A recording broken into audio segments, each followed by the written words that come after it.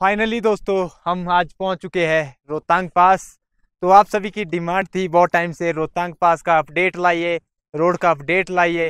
तो आज हम पहुँच चुके हैं इस खूबसूरत वादियों में और आप दोनों तरफ़ स्नो देख सकते हो, इतनी ज़्यादा है, बहुत ही मस्त नज़ारे लग रहे हैं। कुछ ही दिनों में पूरा रोहतांग पास ओपन हो जाएगा, वैसे ही हम आपको अपडेट देंगे। अभी बीआरओ ने अच्छा खासा रोड क्लियर कर दिया है, खाली पार्किंग क्लियर हो नहीं रही है। जैसे ही पार्किंग क्लियर हो जाती है, वैसे ही रोड पूरा ओपन हो जाएगा दोस्तों। आप भी इन खूबसूरत वादियों का मज़ा ले पाएँगे। अभी इतनी प्यारी ग्रीनरी आ रही है दोस्तों और इतने प्यारे प्यारे फूल खिल रहे हैं यहाँ पे। जब ये सारे फूल खिलेंगे तो कितना प्यारा व्यू लगेगा दोस्तों। कि बहुत सारे भाइयों ने कमेंट किया था। हम बाइक से जा सकते हैं रोहतांग पास। नहीं भाई हो आप रोहतांग पास। बाइक से नहीं जा सकते हो। बाकी अभी रोहतांग पास खुला भी नहीं है। टू व्हीलर में आप रोहतांग पास नहीं जा सकते। ओनली फोर व्हीलर में ही रोहतांग पास जा सकते हो। अगर आपके पास परमिट है तो। तो ही आप रोहतांग पास जा पाओगे।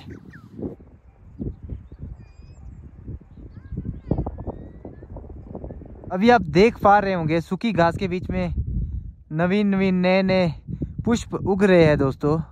जो बहुत ही प्यारे लग रहे हैं। और ये सूखी घास तो झड़ जाएगी, फिर ग्रीनरी बहुत ही खूबसूरत आएगी। ये फ्लावर वैली हो जाएगी पूरी दोस्तों। कितने खूबसूरत वो नज़ारे होंगे।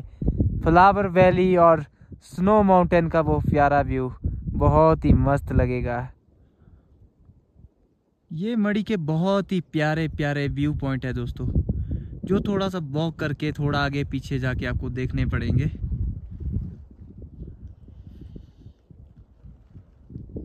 बहुत सारे भाई लोग कमेंट कर रहे हैं, हम अपनी गाड़ी में जा सकते हैं क्या इन वादियों में घूमने?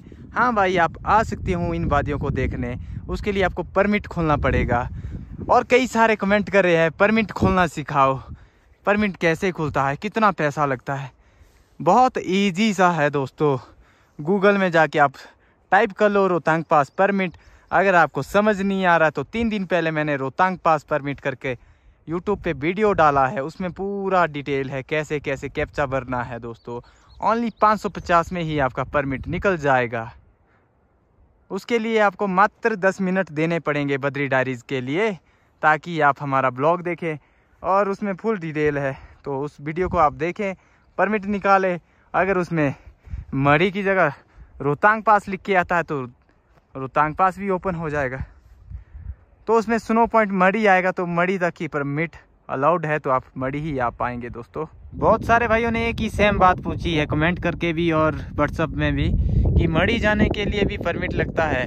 हाँ दोस्तों, अगर आप उस वाले पॉइंट गुलाबा चेक पोस्ट से आगे आना चाहते हो मड़ी रोहतांग, या आप गुलाबा से एक किलोमीटर भी आगे आना चाहते हो तो उसके लिए परमिट लगता है। अगर आप जा रहे हो कोकसर अटल टनल की ओर तो उस उस तरफ़ जाने के लिए कोई परमिट नहीं लगता है दोस्तों। आप ओल्ड वीडियो जब देखते हो तो पूरा ब्लॉग देख लिया करो, जिससे आपको पूरा इन्फॉर्मेशन मिल जाएगा। मड़ी वाले रास्ते का बहुत ही प्यारा सा वाटरफॉल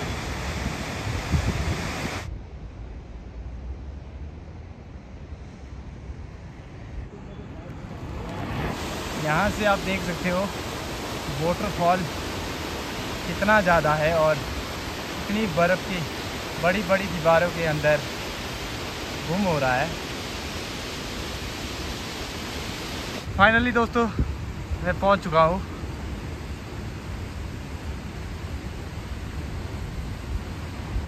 लोकेशन देखो दोस्तों।